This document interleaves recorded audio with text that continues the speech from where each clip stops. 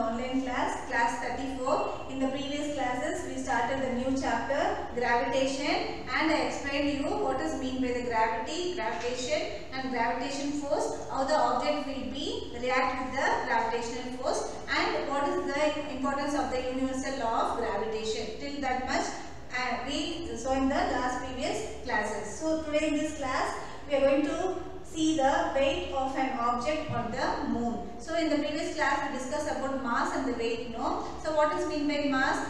If the mass is an object measures the inertia of the object. That is called what mass. Weight is what is the force acting on the object upon the object. No, that is called what weight. So here, how the weight of an object on the moon. So for here on the, on the earth, we have the weight, body weight our body will be not in the same weight on the moon. What is the difference weight from the earth to the moon that we will be see today. Weight of an object on the moon is the force with which the moon attracts. So which of the force will be attract the moon on upon that object. Okay, so that type of force is called what?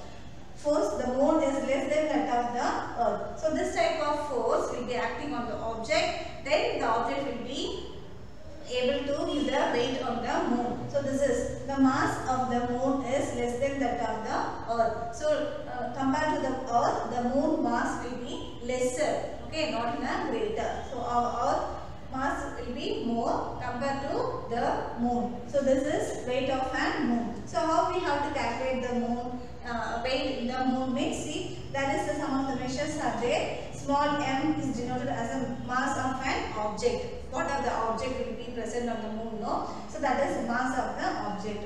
Wm is weight on the moon. So object weight on the moon this is. And m capsule and small m is mass of the moon. This is mass of the moon. And rm is the radius of the moon. So all this we have to apply in the formula. Wm is equal to gravity capsule small m into m by r square m. So all these uh, values they have given in your textbook. That is g value is 6.7 into 10 to the power minus 11 Newton meter square kilogram to minus 2. So that values and all you have to substitute in this in this formula. Then and finally we will get the 1 by 6 in that. So, how much the object weight will be in the moon. For example, here one object weight is 6 kilogram means in the 6 kilograms at the same object weight will be in the moon is 1 percent only will be present for them. So, that is the reason weight of the object on the moon is 1 by 6. So, how much object weight will be in the earth? No. To compare that, there is only 1 percent weight only you can able to see there in the moon. That is 1 by 6 is there. So, in your textbook, take out the textbook page number page number 130 137 weight of an object on the moon. When we learn the weight of an object on the earth is force which with the earth attracts the object. In the same way the weight of an object on the moon is also force with which the moon attracts the object. The mass of the moon is less than that of the earth due to this the moon exerts lesser force of attraction on object. So this is the reason the moon will be attracts lesser force to the object okay compared to the earth. So they have given the calculations there. The value of G uh, they have given 7.36 into 10 to the power of 22 kilogram meter. Okay divided by 1.74 10 to the power of 6 meter. Like that if it be calculated means we will get at last 1 by 6th.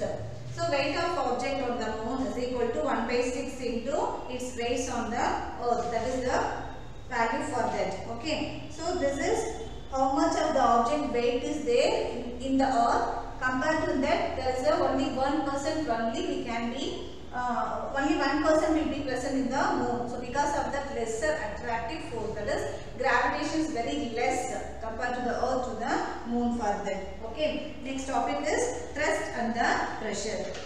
Okay children, next topic is thrust. What is mean by thrust? We'll see that. Take out your textbooks 138 page number. Have you ever wondered why a camel can run in a desert easily? Why an army tank weighing more than a thousand tons rests upon a continuous chain? We can see no that uh, camel can easily run in the uh, desert place. Okay, with how we can think of in that that food, how it can able to run easily there, and you can see that army um, tone means uh, army tank weighing more than 1000 stones rest upon a continuous chain and why a truck or a motor bus has much wider tires. Why cutting tools have sharp edges, even the uh, cutting tools, even uh, knives and all, you can see the sharp edges. In order to address these questions and understand the phenomena involved, it helps to introduce the concept of the net force in the particular direction. So all this, some of the net force in a particular direction and the force per unit area acting on the object that is called what? Thrust. Okay, for example, we'll just uh, take out the nail, iron nail and you just hold on the wall. Uh, upon that you have to be fixed, means you, you want to fix, uh, fix the iron nail on the wall means what you have to do in a particular direction in a particular area you have to give more pressure upon that is it no you have to beat upon that then only the nail can be enter into the wall so that such type of net force in a particular direction and the force per unit area acting on the object called thrust okay let us try the understanding the meaning of thrust and pressure by considering the following situations See, you can see that activity they have given 10.3. You wish to fix the poster on the bulletin board as shown in the figure. To do this task, you will have to press join pins with your thumb. So, you have to press the join pin with your thumb. So, in the particular pressure, the particular uh, force will be applied on the object. You apply a force on the surface area on the head of the pin. So you have to apply some of the particular unit area of the force upon the pin. So then only the press. Okay. This force is perpendicular to the surface area of the board. This force acts on the smaller area at the tip of the pin. So what we are applying the force? That small force acting on the smaller area at the tip of the nail. So what will happen? That automatically that force will be entered to the nail and along with the force the nail can enter to the wall. Okay, so this reason, this is the reason that small amount the force what we are applying in a particular direction in a particular unit area that will be called the thrust. Okay, in the second situation you can see you stand on the loose sand, your feet go deep into the sand whenever in the beach, uh, you have the experience on the beach side. You can, if you are standing on the beach side on the sand beach, by the time in the loose sand, you, you will feel your feet uh, go deep, deep into the sand. Now lie down on the sand. At the same time you lie down on the sand, you will find that your body will not go that, that much of deep in that sand. So in this both cases, the force exerted on the sand is the weight of your body. So here what will be happen? The force exerted on the sand is the weight of your body. Okay, you have learned that the weight is the force acting vertically downwards. So what is mean by by weight means what the force acting vertically downwards upon the object that is called what weight. Here the force is acting per perpendicular to the surface of the sand. The force acting on the object perpendicular to the surface is called the thrust. So what type of force acting on the object in a perpendicular on the surface of the object is called thrust. When you stand on the loose sand, the force that is the weight of your body is acting on an area equal to the area of your feet. When you lie down, the same force acting on an area equal to the contact area of your whole body. So what will happen when you are standing in there, our force will be acting in a straight line. That foot only will be getting more pressure. So our body full weight will be going deep into the sand. So we can see the depth of the sand. At the same time, if we lie down on the sand, by the time whole force will be acting on our whole body, not only in particular one uh, one place in that. So that is the reason that mm, sand won't be going uh, deep. Okay. Thus the effects of force of the same magnitude different areas are different. So here the magnitude is the same but it's acting on a different area. In the above case, the thrust is the same but effects are different. Therefore, the effect of thrust depends on the area on which it acts. So, this effect, the force will be different where it is acting on the object, which area is acting on the object. So, depending to the acting on the area, the thrust will be different.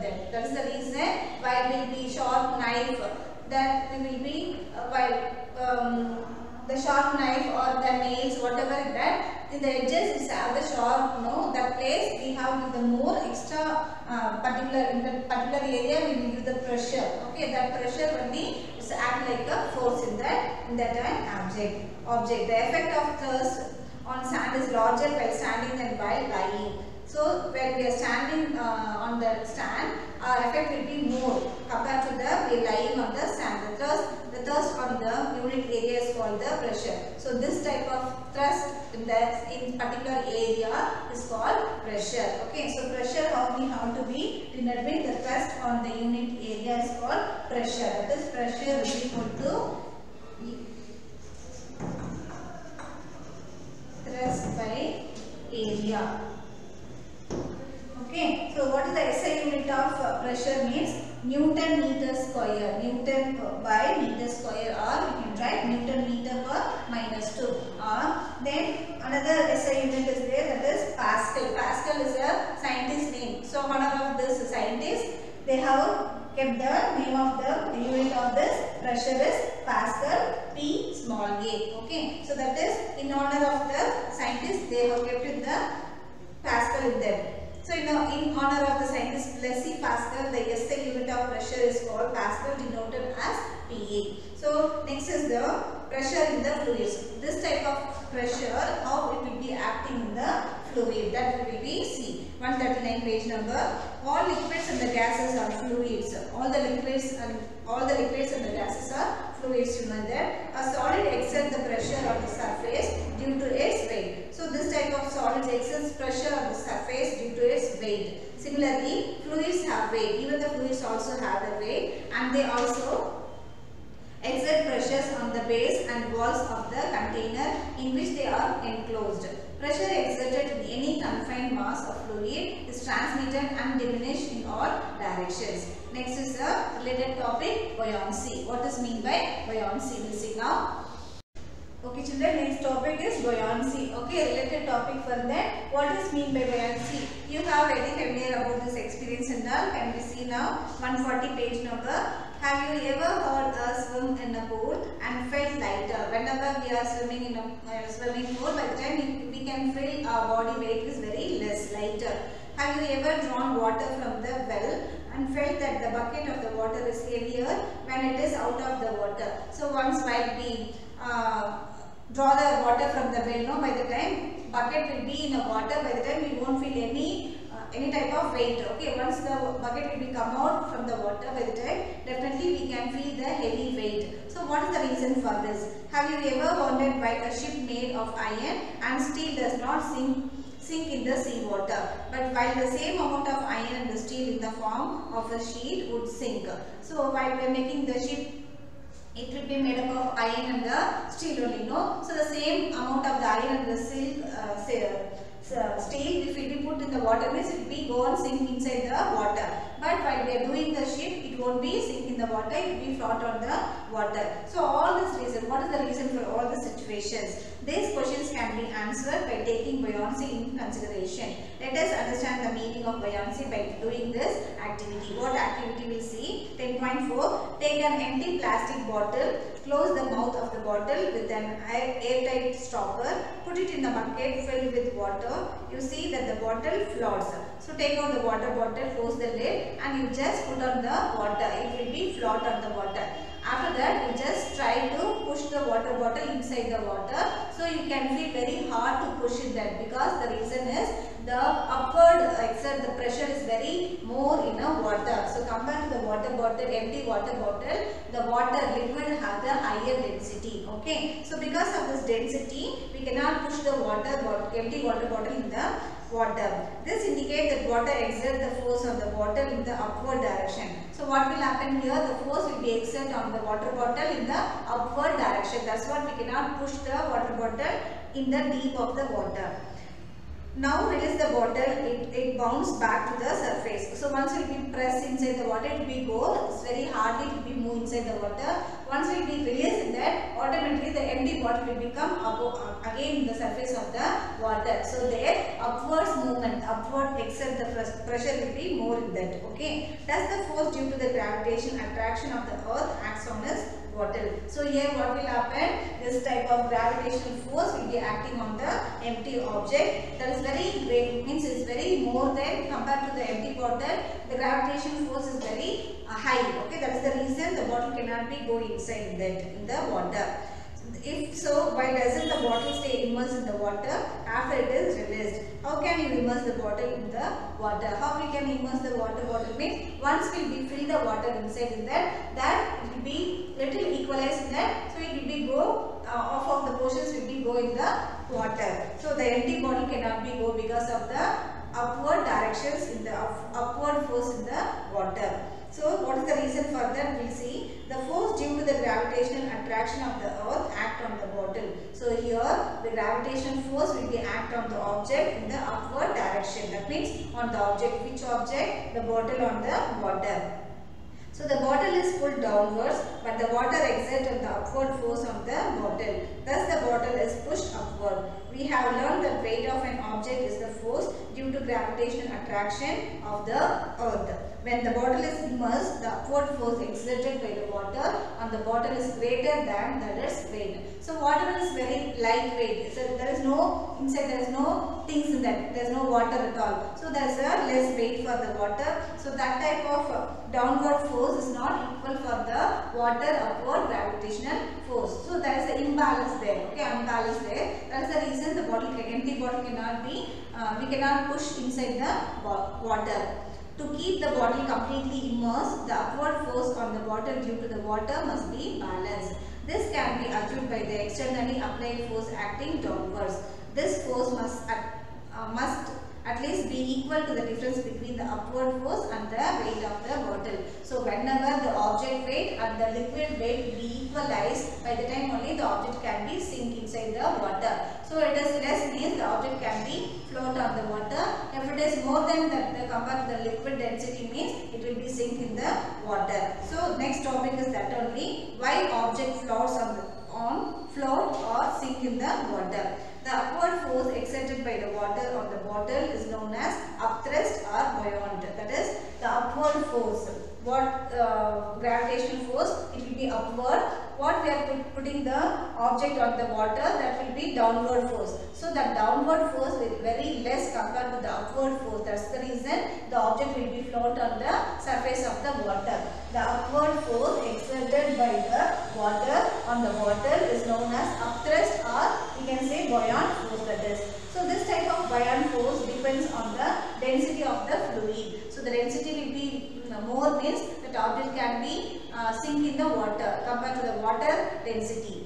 The object density is very less compared to the water means definitely the object cannot be sink in the water, it will float on the water. So that is why object float or sink when placed on the surface of the water that will be seen.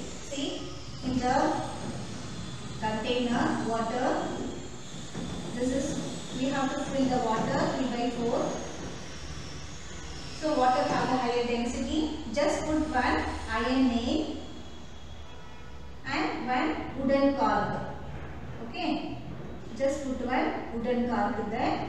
So compared to the iron nail and the wooden cork iron nail have the higher density compared to the water so it will be go sink in the water but cork will be float on the water. Why? Because the cork density is very lesser compared to the water. So whenever the object have the lesser density, it will be sink, it will be float on the water because water density will be more. Okay, so object will be sink in the water means think of the object density is very more compared to the water. That is that's the reason it's sink in the water. So the next topic we have to see how the objects will be float and how the object will be sink in the water. Thank you children.